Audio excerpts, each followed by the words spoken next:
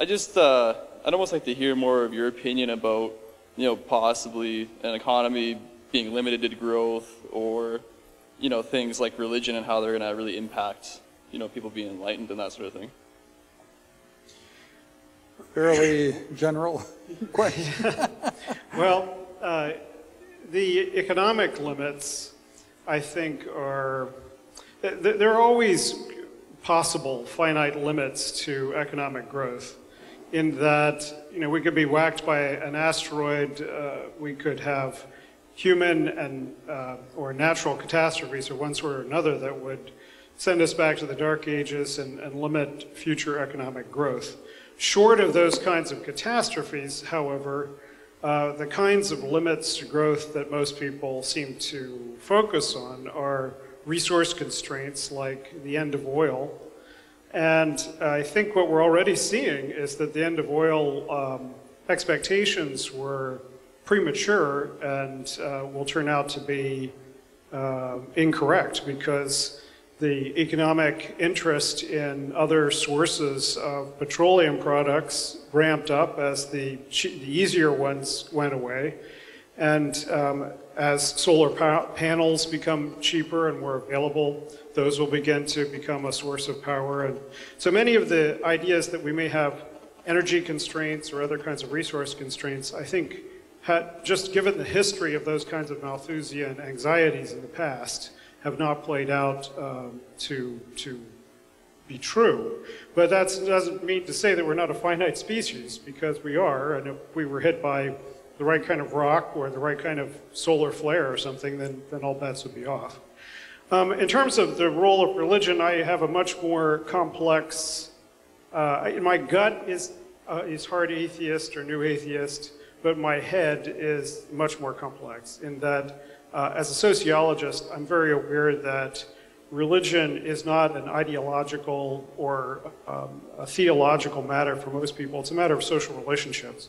And so, for the vast majority of people, when they say that they believe in God or that they have a commitment to a religion, it's not, in fact, um, that they have thought at all about the theological questions. And in fact, when you dig, you scratch a little bit into most contemporary Christian theologies, they don't hold many of the what were considered core doctrines. That many of them would have been burned as heretics in the past, for the professions that you know uh, people other than Christians could get into heaven and so forth.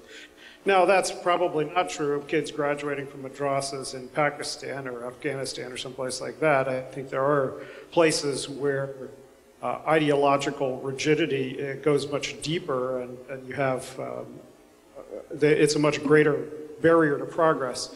But I, one of the things that's happened in the last 400 years around the Enlightenment is that the Enlightenment started by, among mostly religious thinkers. They were trying to validate how uh, reason and science showed God's plan and how you could intuit God's plan through reason and science. And so um, there is a tradition of religious thought within the Enlightenment that uh, is parallel to secularism and atheism. Uh, and uh, I think what I see among of my uh, putatively secular friends, especially the transhumanist ones, the ones who are willing to entertain thoughts about um, the ultimate purpose and meaning of human existence, is that they end up in a theological place, most, or at least a, a, a religious place, if not theological. You know, Nick Bostrom, very secular atheist guy, through an entirely secular train of thought, ends up at the conclusion that we might be living inside a giant science experiment of some uh, alien, malevolent or friendly, who knows, but, uh, and that's a kind of theological thought. So, you know, I, I just don't see the hard and fast distinctions that a lot of the new atheists do. Um, but as I say, my gut is still new atheist. I, I do sometimes wake up in the morning and think, what can I do to piss off the Christian right today? Okay, uh, other questions?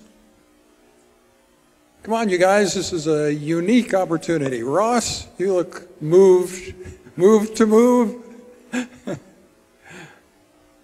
ah, Ross is, Ross is coming with his laptop. This, this may be a more complex and specific question. So somehow, you, you have to uh, hold these things too, I guess. Hello. Hi. I don't have a question, so I'm going to try and formulate one as I go here. But uh, one of the things that you said in the talk was that there's this uh, erosion of, of certainty when it comes to uh, moral certainty. And uh, in the context of another comment that you made in, in your speech, the, uh, I don't know how to put it nicely, but I'll put it the way that, that you did, the, uh, the Fox News group of people, is that a breakdown of moral certainty that they're having that leads them to these positions that are unreasonable, or is that some other kind of uh, deterioration in, uh, in the fabric of reason?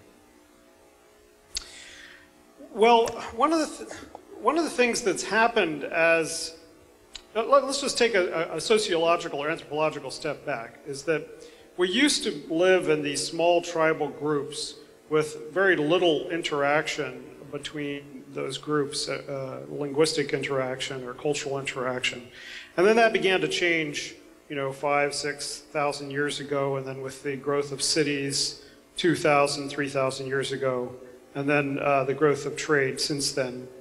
And every time those cultures would come into conflict with each other, some people would find those, uh, those clash of belief systems and religious views um, a cause for going deeper. You know, the, you think about the, the confrontation of Islamic and Greek and Jewish and Christian thought in the Middle Ages. Um, it forced a lot of philosophers on all sides to go deeper into the question, the religious questions that um, that the others were answering better than they were in their own faiths.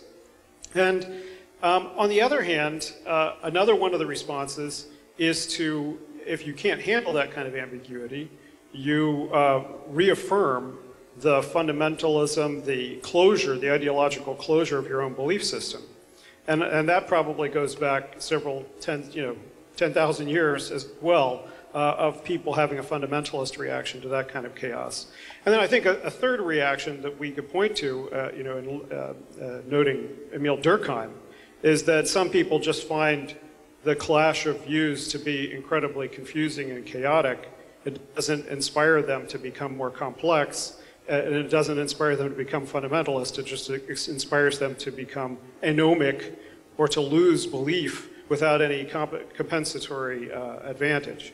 And so those three different reactions, of course, we, we hope that people develop more and more complexity. But I think you can see in contemporary society as, you know, it's just one click away for you to find people who share exactly diametrically opposed views to whatever you, you happen to believe in. Um, and that kind of um, confrontation, although we do our best to wall it off and to only read the blogs that agree with us and to only have Facebook friends who agree with us. I mean, I, I've literally only uh, unfriended people on Facebook because they say something I don't agree with politically. I just cannot tolerate that in my Facebook stream. And, um, and I'm sure that that's true for a lot of people, that they just don't want to see that. So um, I think that between those, uh, what we're beginning to find out is that there are certain brains that are tuned to ideological closure and other brains that are tuned. And this is, this is my reference to Chris Mooney, his research on the, the Republican brain. And the fact, uh, it goes back to the 1940s and 50s, the research on the authoritarian personality, uh, the, the genes that tend to make people liberals or conservatives. And, and this is uh, the kind of pessimistic thought, which is that if these genes have been present in human race for 10,000 years, what determined whether you ended up in the uh, fundamentalist camp in reaction to cultural clash and ideological clash, or you ended up in the more complex camp, may have been determined before you were born and not have anything to do with um, the kinds of arguments that people try to have. Um, but that's the pessimistic thought. I, I, don't think that that's entirely true because I do think we've made progress and we haven't changed genetically that much. So, um, at any rate, I, I, do think that it is possible for us to move increasingly towards a more uh, complex world that takes account of the fact that there is no moral closure to be had uh, that there is no way to, to find the laws of the universe or the Talmud or the, the Ten Commandments or whatever written into the base of the universe, you know, written into the base code of, of the quark, Um, and therefore, we have to just acknowledge that we make this stuff up. We make right and wrong up. We make, uh, we make up uh, what's a better political system and a worse political system. And there's really no way to, to rationally validate it, except that we generally all seem to agree about certain kinds of things, and we can move on from there. Okay. Uh, Other questions? That could include follow-up questions. Uh, So, yay. Okay. It's always good when I see somebody rise from a seat and come up front. Okay. Yeah. So, uh, you talked a little bit about um, progress, meaning um, things like the end of war, the end of uh, international conflicts, that sort of thing. And um, something that I was thinking about is um, what I've been currently sort of looking at on on the internet in forms of uh, people with the idea of forming new world order, at, sort of as a conspiracy thing, but more, I think, more relevantly, uh, people moving towards not necessarily a global government, but maybe lack of government and more personal governance. Um, and I was thinking, what is your standpoint on maybe an illusory um, sense of progress and the fact of uh, a political progress, things like uh, re-electing the same kinds of leaders, maybe people with those sort of more fundamentalist viewpoints get more votes, and maybe that's just a fact of who we tend to be drawn to as leaders. Um, yeah, just sort of what is your opinion on sort of an illusory political or governmental progress? So progress that isn't really progress, just is faking it. Well, as I say, I start from the point of view that it's really hard to validate rationally that anything is in fact progress. And Yes. certainly, you know, just even the goal of the decline of violence and the growth of, uh, of uh, peaceful life is not something that all of our ancestors would have looked upon kindly. And there are people alive today who don't look upon it kindly, who think that uh, men uh, have to fight uh, or at least be exposed to violence in order to become true men, and that the feminization of the world through the elimination of violence has all kinds of deleterious consequences. So this is not a, a moral universal necessarily. It's just something that most people seem to agree with that um, that less war and less violence would be a good idea. Um, in terms of the global governance, I've been a world federalist since I was a teenager, and um, and I we just published a couple hours ago uh, the conclusion of a poll that we ran on our website at the IEET about what kinds of political system people thought the world might have in uh, 90 years at 2100. And uh, the majority, 53%, said that it would either have a, direct democracy through some kind of electronic mediation or directly elected uh, representatives, uh, representative democracy. Um, and so that was pretty good, but of course we're a pretty optimistic bunch at the IEET, not at all representative of the world. Um, I, uh, in terms of the illusory nature of political progress, I, I think that one of the problems is that because we are constantly revising our moral uh, codes, we will look back on every previous epoch as having been morally bankrupt. I mean, I, in the United States, we look back on the founding fathers and all their highfalutin rhetoric about the equality of men and the fact that they owned slaves and didn't allow women to vote and, and et cetera, et cetera, you know, that they were just a bunch of hypocrites.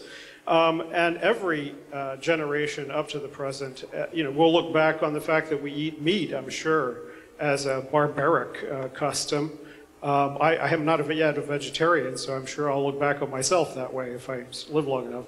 So, um, in terms of the fact that we can't even get an international political consensus to stop genocide in the Sudan or in uh, Rwanda, uh, you know, in this contemporary world, uh, we'll, we'll look back on that with horror, um, I'm sure. And, uh, and I'm glad that we will, because I think that that is exactly the kind of progress that I hope that we achieve, is to, to have an, an increasingly higher standard on a higher bar of what kinds of political life we should have. Okay. So other questions? Um, Maybe at this point, we'll, we'll go on to a little bit of the next uh, video. Does, does that suit you guys? I think it's uh, remarkable how many facets uh, James Hughes has. You know, when, when you look at this TED Talk, you can get a little concept of maybe, you know, the little world that he's in. But then when you listen to this other talk, you'll realize there's a whole lot more there, which, which, which is kind of cool. And I think it'll open up your mind to a lot of other things you could ask him about. So I'm, I'm just going to try to go to this uh, 20.05 here. Now is the time for me to ask you to share a little bit more without sort of uh, stealing your thunder and telling us everything, of course, about your upcoming book, cyborg Buddha? Well, in, in the first book, uh, Citizen Cyborg, I laid out a kind of fundamental ethical starting point premise, which, as I said, I, I don't think that you can find this written in stone at the base of the universe, but um, the premise was if you think that uh, human happiness is a good thing and that more human happiness is a good thing, and you believe that people having more control over their lives and their societies uh, leads to more human happiness, then here's the propositions that I would see flowing from that in terms of how to build a, a progressive transhumanist movement, a progressive transhumanist politics. Um, and uh, that is a pretty simple-minded, I, am very influenced by John Stuart Mill in that, and, and uh, argued for Mill's position around human freedom and human choice in, in, that, in that book. Um, but then I started to teach a course here at Trinity on uh, uh, happiness and public policy. And this, over the last decade, the literature on ha human happiness, and in particular its application to public policy, has been exploding. And I began to realize that um, the naivete of my own utilitarianism um, and the difficulty of, of uh, especially for a transhumanist, of trying to um, have human happiness as a goal because eventually we're all going to have wires and, and, little nano pharmacies in our brains that will be able to give us any mood or experience we want. And you could be lying in the gutter and, you know, land the lotus eaters and, and be perfectly happy. So from a transhumanist point of view, it's extremely problematic because of wireheading. Um, and uh, I know that uh, David Pearce and I have a bit of a disagreement about this, uh, about hedonistic imperative about that. Um, but uh, nonetheless, I do think that there is a way to have a kind of sophisticated goal of, of happiness. So the beginning point of the book is to try to tease back apart this question of what kinds of happiness are true kinds of happiness that would be legitimate aspirations for our society in the era of neurotechnology um, and what, what, do we know about human happiness? And it basically boils back down to the distinction between hedonism and eudaimonia. So Aristotle had this notion that there was a kind of happiness which comes from actual accomplishment and the maturation of, of human character um, that is different from simply wireheading or taking crack. And, um, and that that is, I think, what we need to recognize is the only possible way to have uh, uh, goals individually or societally in the kind of future that we imagine is going to be created. Um, so I make that argument for a eudaimonic uh, view of happiness, and that then turns to, well, what are those aspects of human character that we want to develop? And so that returns to a question of virtue and the, what are the virtues. Um, I then try to develop, a, a, which is already happening all over the place, but a, a kind of uh, psychologically and neurologically grounded model of human virtue, um, the importance of self-control, the importance of empathy, uh, what the uh, uh, neurochemicals are, what the drugs are, what the neural structures are that go into the development or the support of these different kinds of human capabilities, and, and look at it from a sociological point of view and say, know, again, I'm not trying to argue that virtue in and of itself uh, is self-evidently good.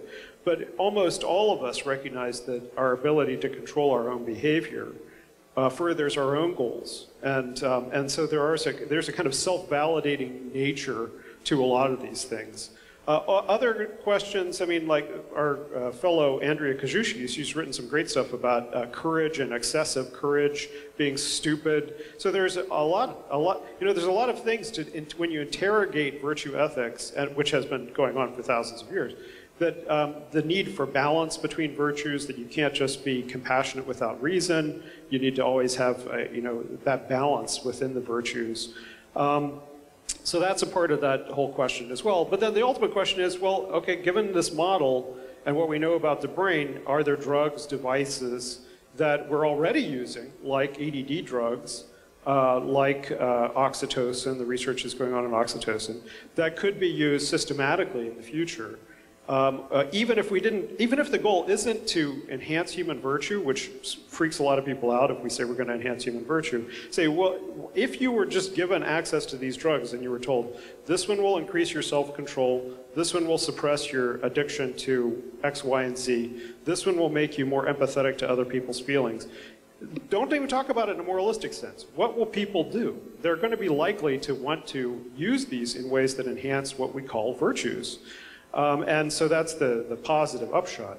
And the final part of the book is about the effect on our sense of self, because for me, transhumanism, it's the ethics of transhumanism around life extension and, uh, and bodily enhancement is kind of boring, actually, because uh, most people, you know, the, the arguments that they come up with about why it would be bad to live a long time are just, you know, so easy to knock around.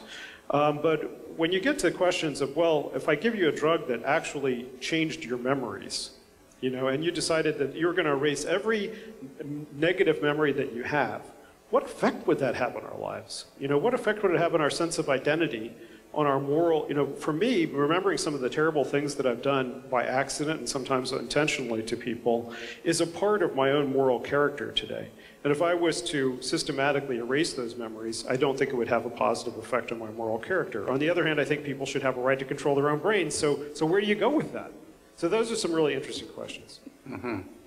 Yeah, I, I personally wouldn't give up my negative memories because, in fact, this is how we learn most of the time, I think. Uh, you know, you have to make a mistake and, and sometimes you, you pay for it and, and this is how, this is part of the learning process, I think, and, and especially when it comes to, to moral or, or ethical sort of uh, progress that you can make individually and, grow personally as a, as a positive character, if you remove that possibility, how do you ever grow? How do you ever make progress? I, I, I, that for, on, the, on the other hand, as you mentioned, people should have freedom to change their brain the way they see fit. Right. So it's a, it's a serious dilemma here, yes. Right. Well, I think that this gets to, uh, you know, I, I, have a more nuanced view of drug de decriminalization than I used to. I used to just think, you know, legalize them, the consequences of drug criminalization are too great. Mm -hmm. I think we need a more nuanced view because we do have a legitimate need and right to have, uh, to encourage uh, our fellow human beings to live fulfilling lives. And so if we, we look on other people who are addicted to crack or heroin, um, or what's coming down the pike, which would be worse than crack and heroin, more addictive, more uh, fundamentally personality changing. Um, if we don't say, look, I think this is a problem and we need to do what we can to help you, uh, without going to the point of saying we're going to lock you up in prison or we're going to, you know, kill you or whatever, uh, but you know, what, what, what can we, what lines can we go up to to create moral uh, sanction and social support and public health support for people so that they move their lives in positive directions as opposed to falling into these sand traps? But here's my, my thing with this uh, uh here. Uh, I think in this case we're talking more about sort of a uh, physiological enhancement, not so much about a moral one.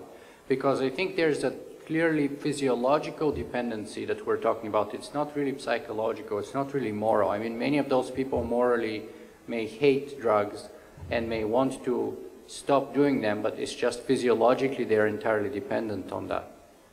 Well, I think that this is a longstanding debate in sociology about the uh, medicalization, um, how, which uh, social agencies or institutions get to define and control social problems. So it used to be that alcohol was considered purely a moral problem.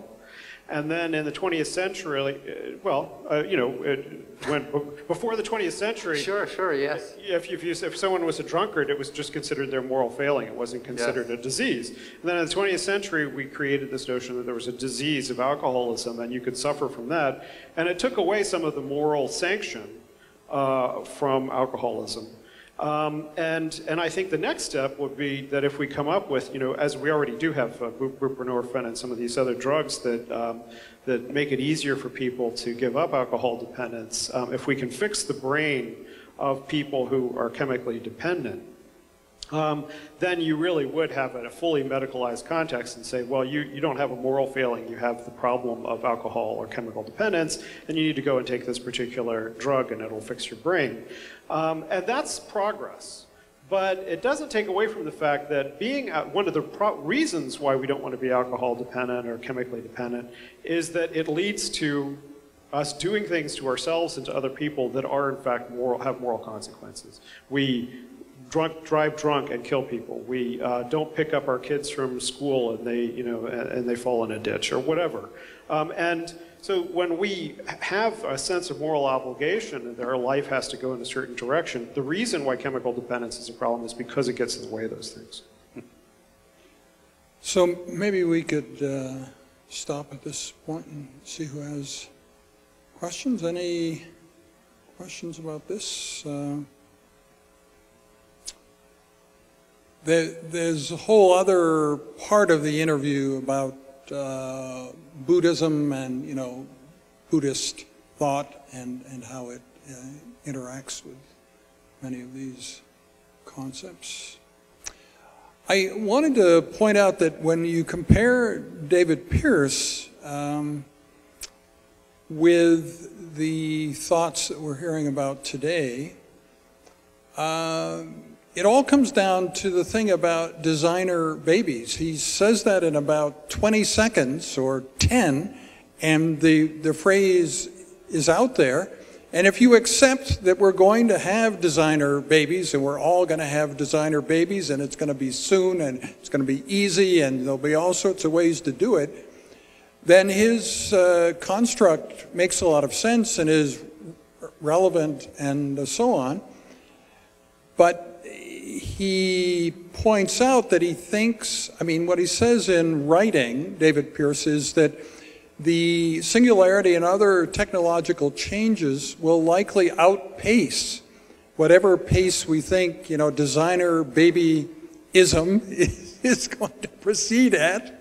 And so maybe these things that he's conceiving of won't be you know, dominant part of the future just because we, we won't get to that point where having uh, designer babies picking the exact genome of our uh, offspring won't be the thing that we're doing first. You know, we'll, we'll come to that later. Um, so depending upon what you think about how soon we'll have, you know, designer babies, then David Pearce's ideas are, are relevant and current right now, or they're like something for when that when that happens. Um, so, do one one of you, come on, come come forward. Yay! Okay. So here comes Stefan. He's uh, the youngest person in the class. Hi. Um, I'm just curious on how would one go about measuring progress? Because I mean, there's a lot of aspects to it, and like you said earlier in that TED talks, when he, that guy was like hiding or whatever, he decided to measure the progress. Like, what did he look at to measure how much progress has been made?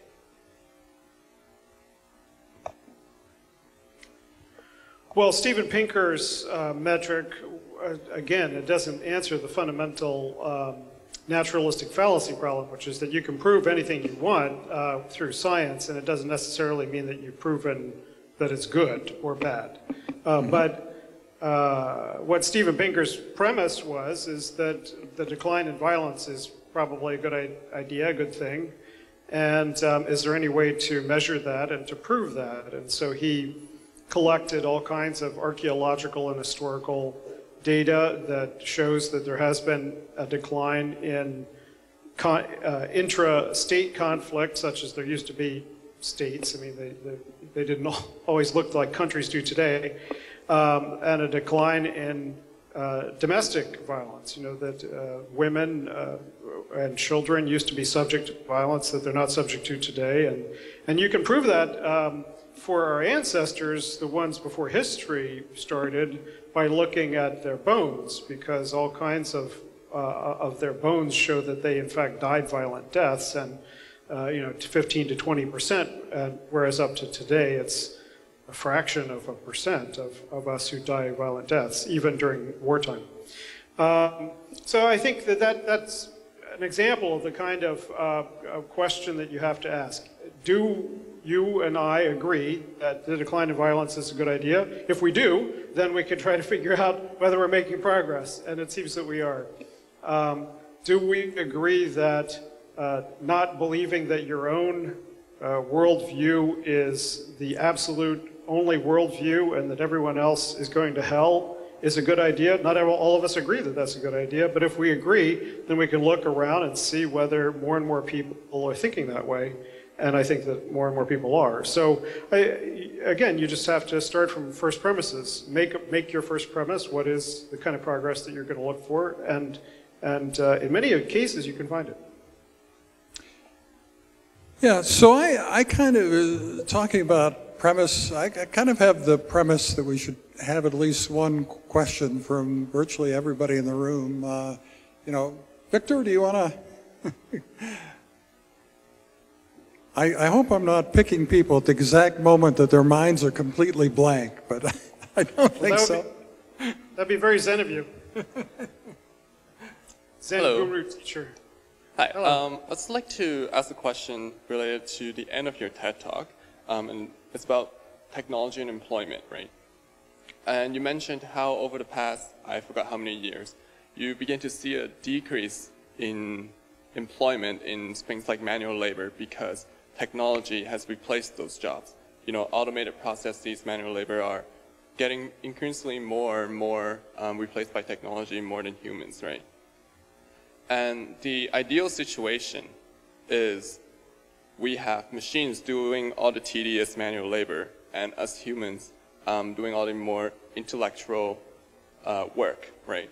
But do you think we humans can ever catch up um, with this notion, given that you know technological advancements are very quick right now? Like you know, you have Moore's law, um, processing speed doubling every I don't know 10 years or something like that.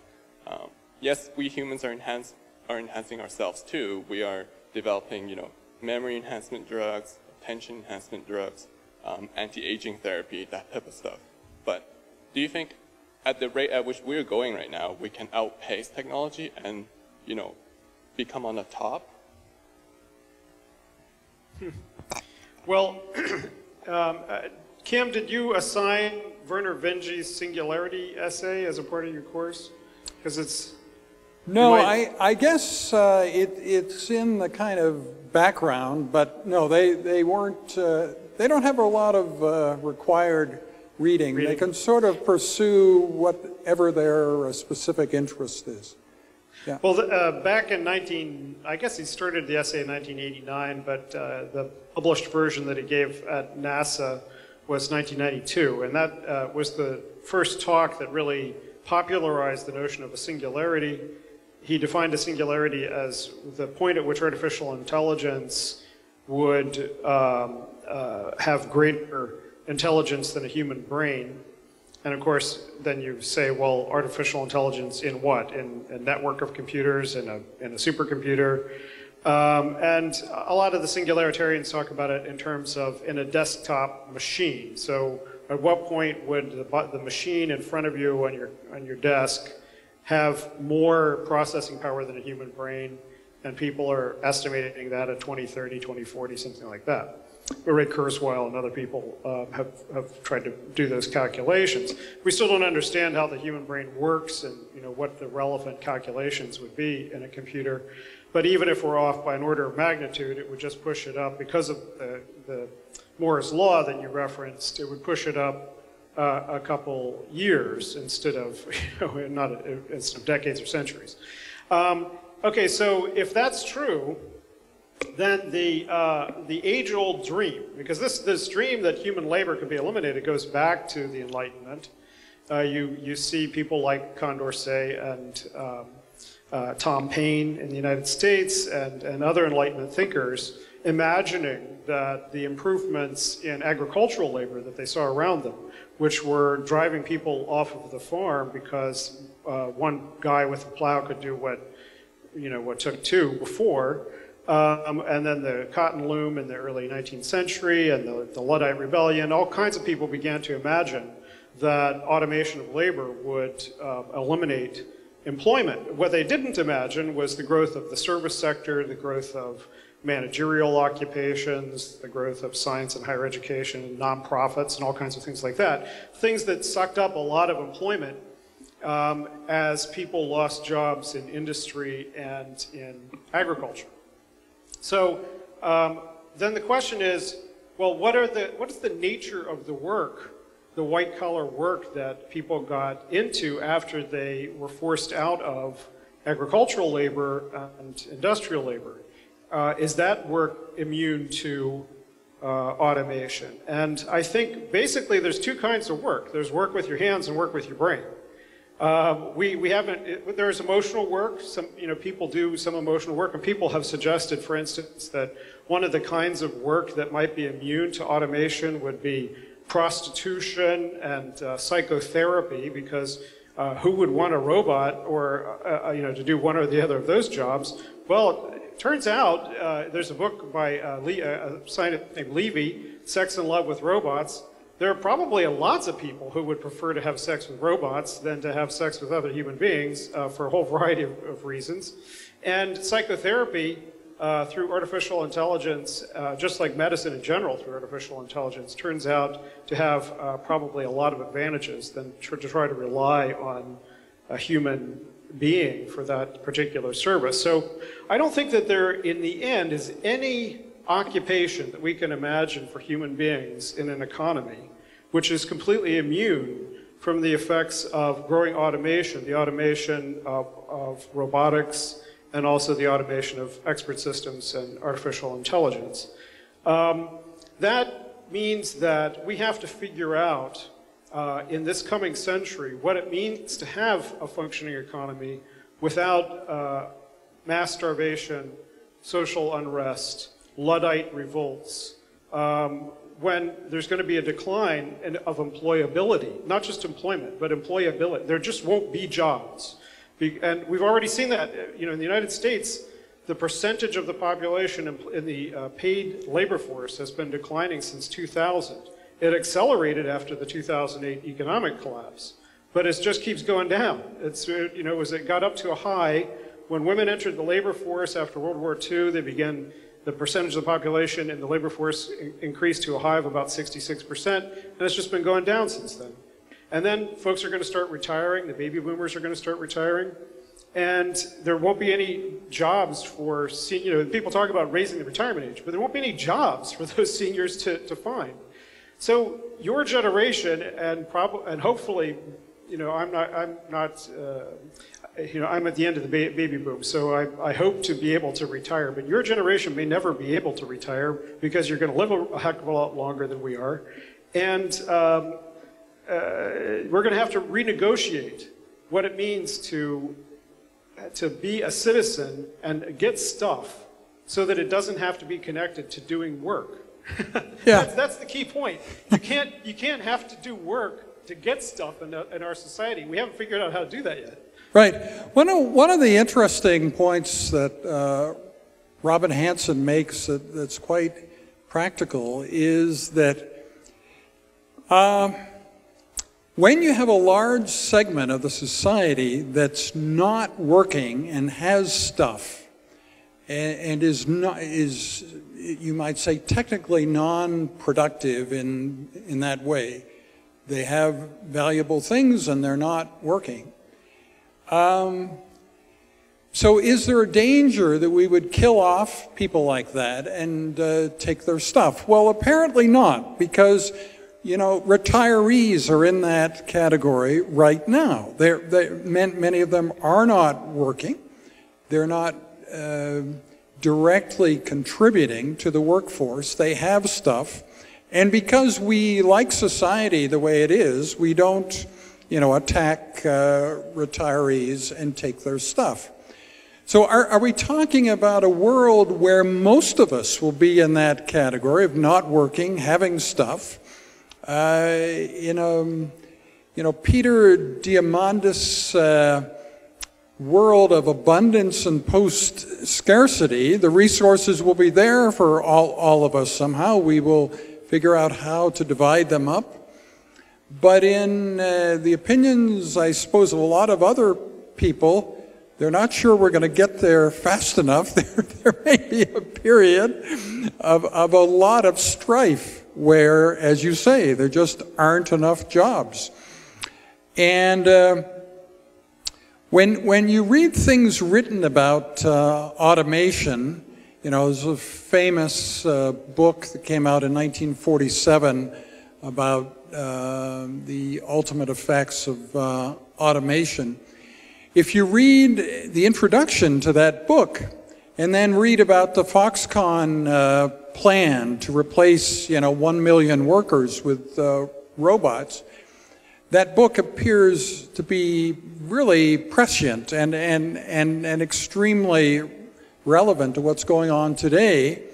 But people also point out, well, you know, look, this guy in 1949 wasn't talking about 2012. He was talking about the next few uh, decades that he thought there would be massive uh, unemployment due to uh, automation, and it didn't actually happen. So you can argue that we're crying wolf, but I have a feeling that we're not crying wolf now. I mean, isn't it very likely that unless things are extremely well timed in terms of when abundance and post scarcity comes, we're going to go through a very tough time where we don't have these new paradigms of paying everybody to be on permanent uh, vacation. We haven't set that in place yet, but yet the number of jobs is, is um, plummeting. So, do you see, like I do, that the, that the, the you know, syn- synchronicity isn't going to work out quite right. There, there, there's going to be a period of time when this, this employment business will be a serious problem. Frederick Douglass said, without struggle, there is no progress. And Yeah. um, one of the problems with techno utopians like Diamandis or uh, Ray Kurzweil, a, a lot of the folks who talk about the singularity, is that they imagine, like the, the Fabians used to, that we could just uh, painlessly evolve towards the kind of uh, uh, superabundance and uh, lack of work that, that, that they imagine also we're going to have. And it's not going to be painless. Uh, there's going to be a lot of folks who are going to want to hold on to their stuff. And you can see that in the debate today. I mean, there's the, they, they don't make the connection between the current debates over austerity and entitlements and this, this language of entitlements and what kind of society we're going to have to create. We're going to have to create a society in which everyone has a basic income guarantee, in which the, the state continues to exist and it continues to extract income from someplace and it figures out how to get that income to everybody who needs it to eat and have uh, and housing. And if you think that what we need to, to be debating today is how to get everybody off of the dole and uh, off of Social Security and off of Medicare and, and all of that, then you're moving in the wrong direction and you're not seeing the connection between Yeah. the world that you think. In, you know, Diamandis thinks that his world's going to be in the next like 20 or 30 years. And he doesn't see the connection between the politics that we need to be fighting for today and the kind of future that he wants to create, right? But he doesn't want to see that connection. There's a, he's fundamentally incapable of seeing that connection because these rich entrepreneurs and engineers, they don't want to have people engage in, uh, you know, a struggle for uh, a more progressive income tax or for a basic income guarantee or to protect the social uh, wage. So there, this is a fundamental political problem that, um, you know, the, the left has to be reconnected with technological optimism. It, it fell out of that camp a long time ago. After World War II, it, it decided that there was never going to be a machine which was going to uh, be anything good for women or workers or, or black people or the poor. Um, and uh, that was wrong. And the techno-optimists need to be reconnected with the 200-year-old conversation about the connection between political change and technological change. Because it's not going to be this painless, oh, here everybody, have a magic nano box and you can take out of it whatever you want, and then we'll have, we have no need for social and political change. Yes. Well, now, to what extent is it all a matter of bad timing? And to what extent does the dirty word of, you know, elitism enter in here? Do you, do you think the uh, Peter Diamandis uh, vision that, that will never get there, or that a small segment will, and that a huge segment won't? How, how do you, is it all timing, or is some of it uh, division here? Well, the, the, I think there's a matter of the exoteric doctrine and the esoteric doctrine. Mm-hmm. The exoteric doctrine, the, the doctrine for the masses, is that everybody's going to get a magic nanobox and no one will have to starve. The esoteric doctrine is that the very wealthy and very clued in will be able to move on to their, uh, their floating island nations in the Pacific on garbage scows uh, Mm-hmm. with their uh, you know, super nano weapons and their, their brain drugs and uh, let the rest of the world sink into a morass of uh, Ayn Randian despair. Um, you know, Yes. th- literally, th- there is a lot of Ayn Rand uh, uh, in that particular camp. I mean, you look at the, the phenomenon of Peter Thiel, the um, Christian conservative transhumanist uh, libertarian. The, the principal fund, uh, funder of Ron Paul, our right wing Christian anti abortion libertarian candidate for, for president.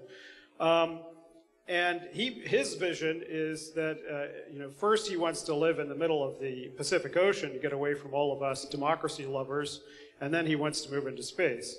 Um, and, Yes. and I'm sure that he's not alone. Uh, it's just that he's uh, much more bold about talking about it. Yeah.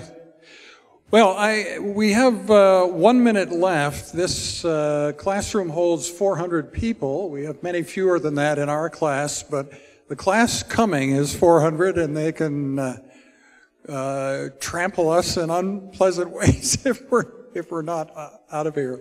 So I, I, I want to thank you very, very much. We have a very broad concept of what the future of medicine is. The one question you may be left with is how what we did today has to do with the future of medicine. I assure you that as we define the future of medicine here, it's, it's directly relevant. So you don't need to feel, feel any guilt that you caused us to stray from, from the main. Let, let me just say one last word about that. Yeah. One way to stay ahead of the robots is to make sure that you're as smart as possible, so and as healthy as possible. So that's the future of medicine. We all have to be on our game. Right, great. Okay, well, thank you very, very much. I'm deeply appreciative. Okay, take care. Thanks.